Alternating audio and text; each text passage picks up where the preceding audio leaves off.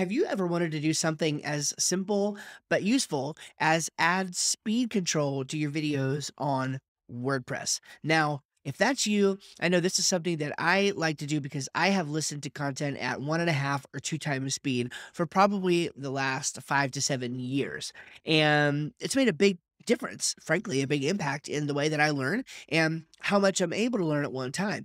And uh, it's not really easy to do this right there built into WordPress. Okay, WordPress has no default option for actually building in speed control. So I want to show you a plugin and a tool that I use for things a lot more than just speed control, but uh, to show you how the speed control functionality on there does work. And I think you'll uh, really, really like it. Okay, so I want to show you a tool called Presto Player, the ultimate WordPress video player plugin. And you know what? I agree. It's missing a thing or two, but for the most part, it's actually really good. It even does audio as well, um, muted autoplay. Uh, it's great for courses. A lot of really fantastic features with Presto Player. I highly recommend you to upgrade to the Pro option, although uh, you don't need the Pro option to actually do what we're going to show you in this video, okay? Um, but again, definitely a fantastic tool, and I think uh, you're going to appreciate what I have to show you. So let's go over here then and we will start the process. So, of course, you have to go to prestoplayer.com, sign up for a license.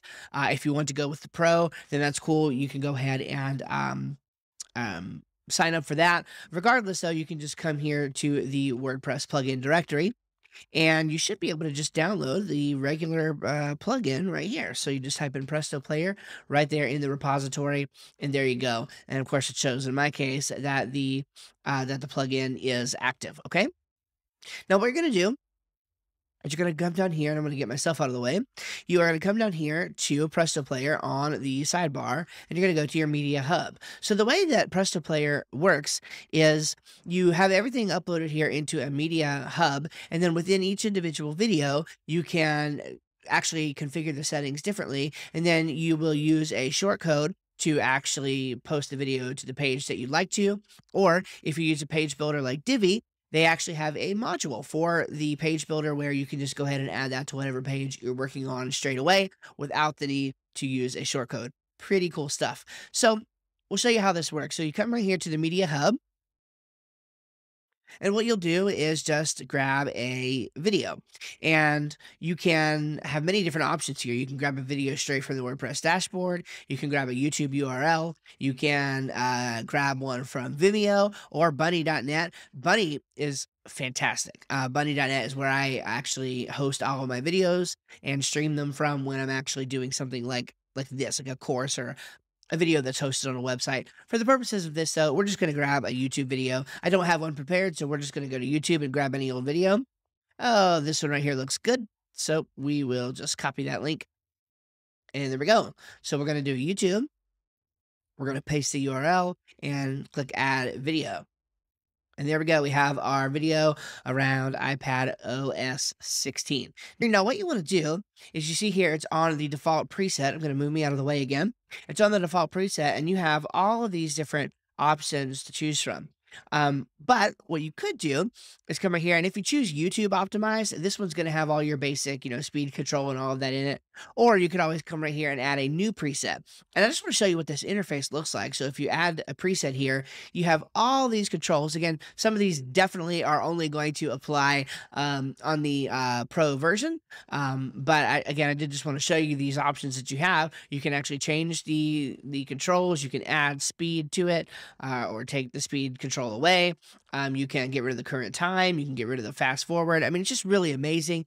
Tons of flexibility that you have. Uh, so for now, I'm just going to go ahead and leave this one on YouTube optimized, and uh, I will just title this uh, test, something simple, and hit publish.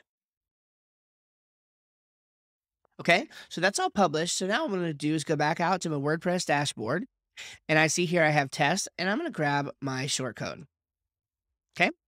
Now what I have to do is just come right here and create a new page. And Once I have that, I can give the page a title. I can come right here and paste the shortcode if I want to.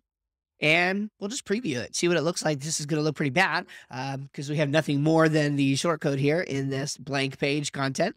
Uh, as I said, it looks really bad, but there we go. We do have the video posted in there, and you can come right here, play the video, and change your speed right here. You can see speed control and you can change it to two times or one and a half, uh, etc. Okay, so that's how you do it. That's the that's the basics. Now, if I were to be using Divi, for example, I could very easily just go ahead and switch this over to a, a, uh, Visual Builder session.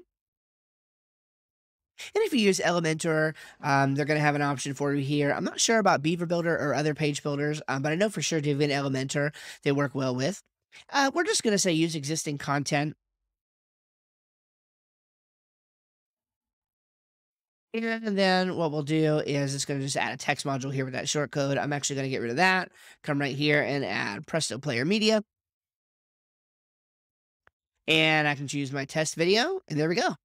Now it's in there. And of course, uh, as you know, with uh, Divi, I can come here and actually change the sizing up a little bit so that it looks great you know, center it, etc. But that's how you get speed control right there in WordPress using Presto Player and also how to go ahead and add that to a page, whether or not you're using a page builder.